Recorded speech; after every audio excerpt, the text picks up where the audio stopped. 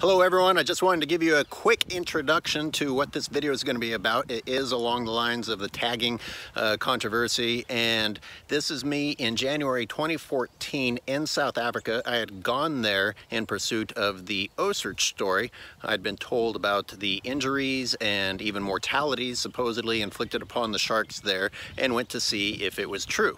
And when I got there, there was a split between the researchers who had gotten to work with OCEARCH, who had positive things to say, and then there was everyone else who had much different things to say. And in this particular clip, I'm in Mossel Bay.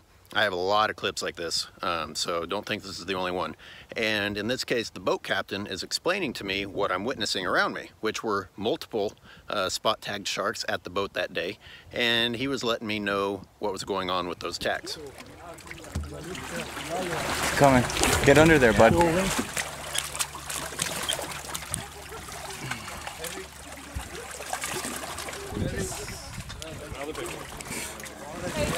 Not putting small moving parts. What age was that shark? Well, she was around about the two and a half meters when, when she got tagged. But there you could see the the bolts are through, the fin's growing. Now it's just bending the whole fin. And it's garbage, so it will stay that way.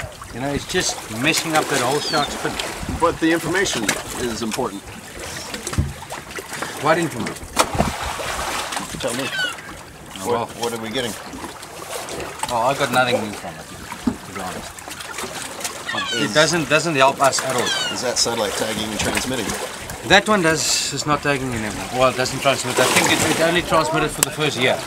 So now this one's been up for another year, year and a bit. You it's can not tell- transmitting. You can tell that just from the growth, or they. No, no, you go confirmed? go go on on on OCEARCH website. Oh. There is no shark in Mossel Bay that pings anymore.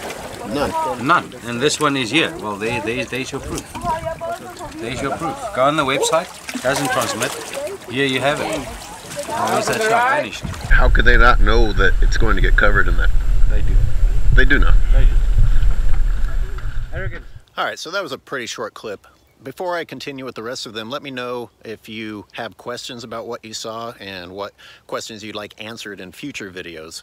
Something I would like you to ponder between now and the next video is that those tags were placed in 2012. It is now 2019. And I understand, you know, you don't get all your results overnight, but it, it's been a long time. And in the meantime, we have had white sharks disappear from two of the three major locations down there and they haven't been coming back. I mean it looks like it's a lot worse than just orcas chasing them away temporarily. And the Natal Sharks Board continues to kill white sharks every single year and we have three new longline contracts from foreign countries taking place off of that cape. I would like to know what data from any studies taking place down there indicate that it's a good idea for longlining to be increased in these waters. Which animals are doing so well that we should actually increase longlining, which has already decimated many of the species there. Should have also included that one of the justifications for using these invasive tagging methods of pulling them onto the deck of the boat and drilling these things into the dorsal fins is that by bolting them on, they would last for five years and give us unprecedented data.